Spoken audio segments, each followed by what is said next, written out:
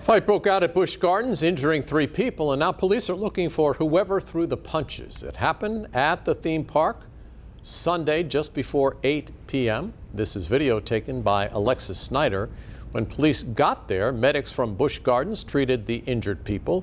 Spokesperson says one even went to the hospital. BGWFans.com tweeted about the fight and included a link to video that someone posted on Reddit. We have that on 13newsnow.com. Now, if you know anyone involved, call the crime line at 1 888 Lock You Up. You don't have to give your name or testify in court, and you could get a reward if that information leads to an arrest.